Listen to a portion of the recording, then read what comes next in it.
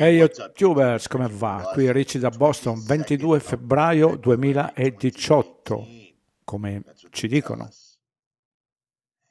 Lo vedete questo? E questo? E questo? E questo, questo, questo, questo, questo, questo? Questo è oscuramento del Sole, geoingegneria. Si tratta di scie chimiche.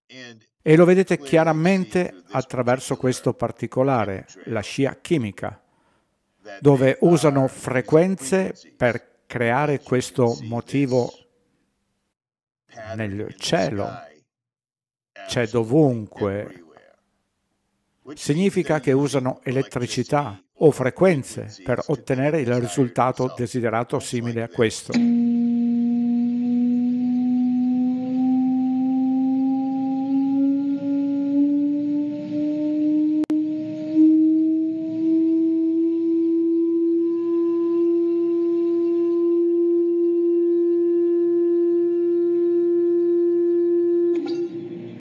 Riuscite a capire di cosa sto parlando?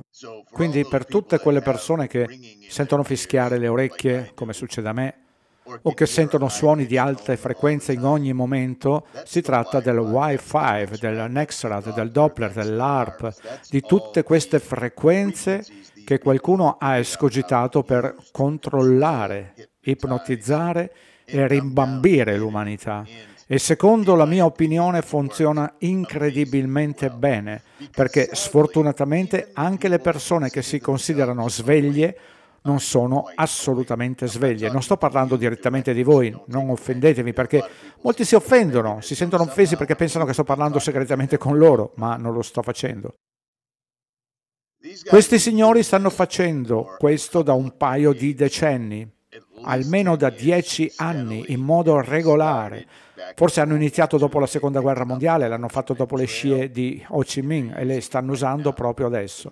I militari hanno voluto controllare il meteo da molto tempo e non è una teoria, non è la mia opinione, è un fatto. Riuscite a capire cosa sto dicendo? Questi documenti sono in giro da tantissimo tempo. Sono stati stampati nell'agosto del 1996 da diversi colonnelli, diversi maggiori e tenenti colonnelli un documento di ricerca presentato all'Air Force 2025. Come vedete, all'improvviso i militari avevano bisogno di questo, giusto? Guardate dove sono arrivati. E qui abbiamo questa piccola costellazione, proprio qui. Sembrano due ali dello stesso animale. Ma accantoniamo questo. Perché vi sto dicendo questo? Perché sicuramente lo sapete già, giusto? Ecco perché. Un mio iscritto mi ha inviato il link di questo articolo da IOP Scienze e lo vedete proprio qui. È una lettera sulla ricerca dell'ambiente, è del 14 settembre 2012 dove spiega che gli aerei dei voli passeggeri stratosferici sono probabilmente inefficienti per la strategia della geoingegneria e penso che è carino perché tutte queste persone che vivono nei loro compartimenti, nelle loro minuscole bolle, nei loro piccoli uffici, i cubicoli o come li volete chiamare, tutto questo è simile alla NASA, alla scienza, al CERN, all'ITER, Dipartimento della Difesa, governo, congresso. Questo è il mondo, ognuno viene tenuto separato. Questo tizio non sa cosa fa questo e viceversa. Lui, lui, lei e lui e bla bla bla bla bla bla bla. Il fatto che abbiano scritto questo documento nel 2012 fondamentalmente è l'essenza. Dicono che irrorare l'atmosfera con dei prodotti chimici va a creare più problemi di quel che si vuole, prima di tutto, e secondo non produrrà l'effetto desiderato. La gestione della radiazione solare, quello che hanno negato per anni, non è esattamente quello che pensano debba essere. Questi signori hanno presentato questo come un modo per fermare il riscaldamento globale.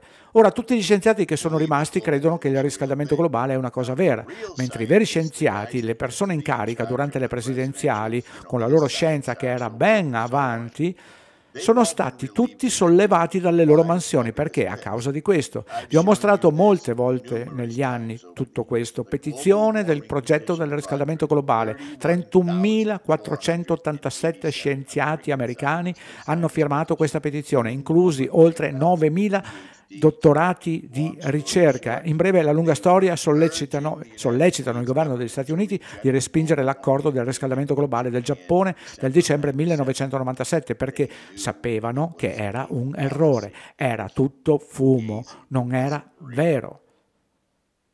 Ma sembra che questi signori non hanno recepito il promemoria.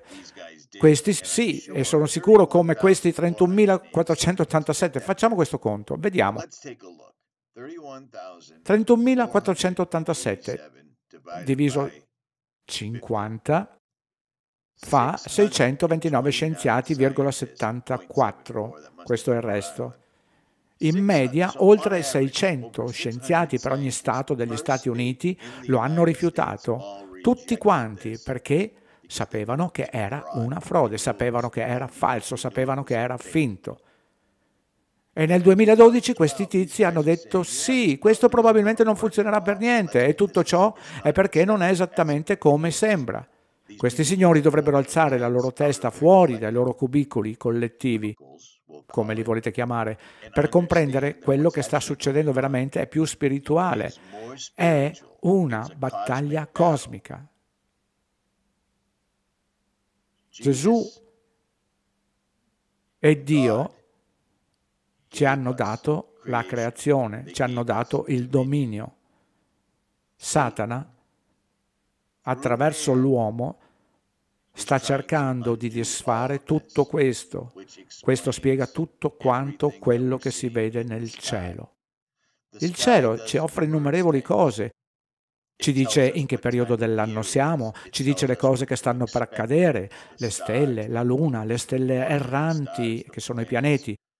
Il sole dà la vita, l'aria è ciò che respiriamo. Questi signori stanno facendo tutto col loro potere per manipolare la meteorologia, per bloccare il sole.